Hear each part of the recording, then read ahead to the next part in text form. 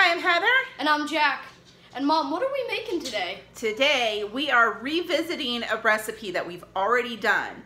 Uh, we are making grasshopper cookies or thin mint cookies. So that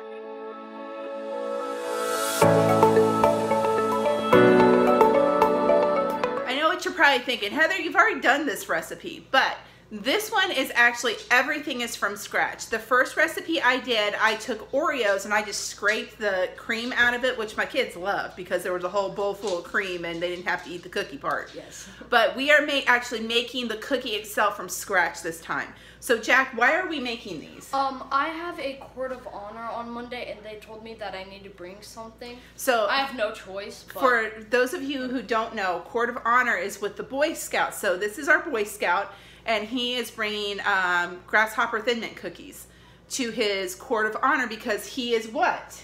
I am getting merit badges in the uh, new rank. So he is getting his merit badges and he's ranking up. So um, Jack didn't start in Cub Scouts, so he's going to be a, a scouter, and then he's going to keep moving up from there. So every time he moves up, they have a court of honor, and they have kind of a little party for them, and it's really kind of a neat thing. So let's get started on these cookies, Jack. So today, what you will need is you will need salt, baking powder, vanilla extract, mint extract, sugar, butter and eggs, and cocoa powder and flour. And we will put the recipe in the description down below so that you guys can have this too. But this actually is just the cookie part. We're just right now making the cookie part. Jack is now putting in our butter. Now we have, we are doubling our recipe because there's a whole lot of Boy Scouts. But what we're gonna do now is we're going to cream this butter for a minute. Cream, would that be two? um, on medium, medium. Our next step is, is we're gonna put our sugar in now, and then we're gonna beat it on a medium high speed until it's light and fluffy and it starts to like change color. Your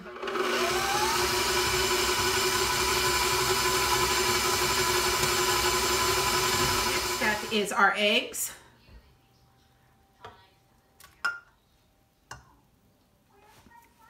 Our vanilla and our peppermint extract. And we're gonna beat those together until they're light and fluffy again and um, scrape down the edges of the bowl so everything gets incorporated in real well.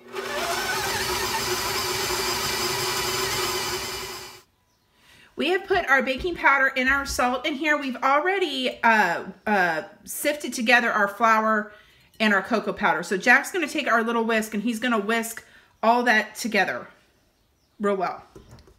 All right, so that is all together and now we're going to take it and we're gonna put it in our mixer and we're gonna mix it up.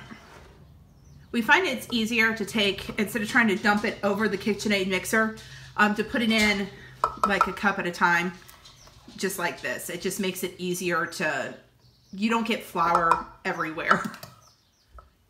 We are gonna mix this now until it's all incorporated. You don't want to overmix it because you don't want tough cookies. So go ahead, Jack, and turn on on slow. Slow, slow.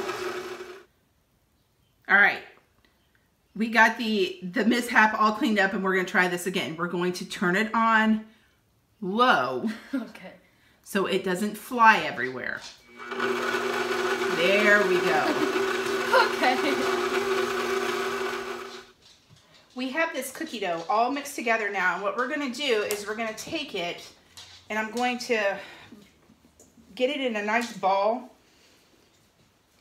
And then we're going to split it in half and put it into two um, pieces of plastic wrap.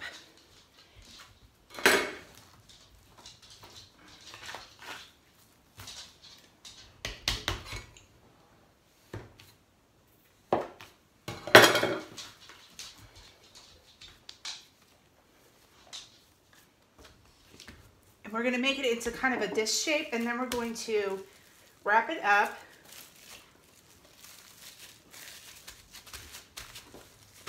And kind of press it flat with each one of them. We are now gonna put these in the refrigerator for an hour and let them chill so that we can roll them out. All right, so it's been an hour and we are going to unwrap this and we are going to roll this out and we're to make them super thin. And I floured my surface here and I'm to kind of flour the top of this so that my rolling pin doesn't stick. And we're to roll them out real thin. I mean, you're probably looking at about a quarter of an inch thick. So that's what we're to do now.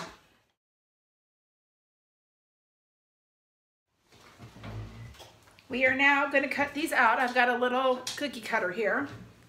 So we're going to go ahead and cut these and then Jack is going to put them on my pan for me. Yeah, come some cookies, yeah. Jack is now going to put these in a 350 degree oven uh, for about eight minutes. We'll probably check in at about six, but it, it says for eight minutes and we'll see if they're done then. All right, so while our cookies are baking, Jack is going to chop up the big block of chocolate we have here. Now, usually I use um, Wilton's uh, chocolate melts, the little round ones that look like giant chocolate chips. Um, I like those better than just chocolate chips because um, they don't melt in your hands quite as much like when you're eating the cookie. So he's gonna chop that up into smaller pieces, but we couldn't find the Wilton's ones. So we just brought the, the block of chocolate coating at the grocery store. The cookies are done. Um, for our oven, it took us about uh, 12 minutes instead of eight for them to bake through. Now these are crisp cookies, so you don't they, they don't need to be soft in the middle. You want them crisp. So Jack's gonna take them off the cookie sheet and he's gonna put them on our cooling rack and we're gonna let them cool completely before we start with the process of coating them in the chocolate.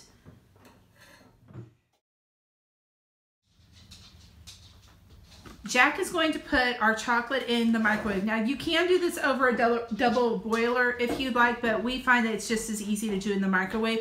And we're gonna start out with one minute and then we're gonna stir it and then we're gonna go in 30 second intervals until it's completely melted.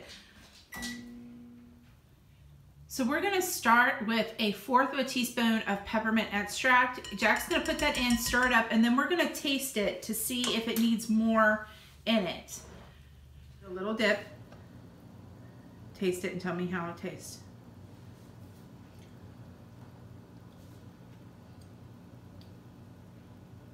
Is it pepperminty enough? I think it needs a little more. Just put then put a little more in it. That's good. Am I right?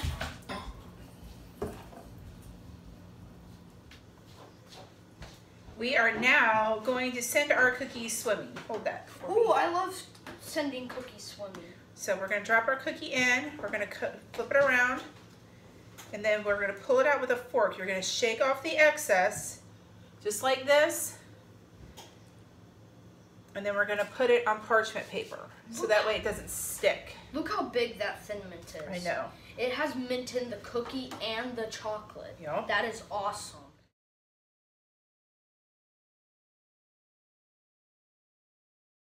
All right, so while I finish up, move Gina.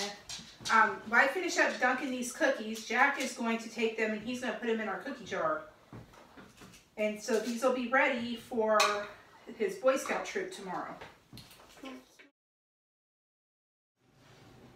So that is our grasshopper slash thin mint cookies that we are making for Jack's Boy Scout troop. So let's give them a try, guys. Mm -hmm. Now don't tell them that we ate some. These are really good. and they're kind of big too. So make sure you like and subscribe. Leave any comments down below. Um, and check us out on Facebook and Instagram. More updates as we go. Bye.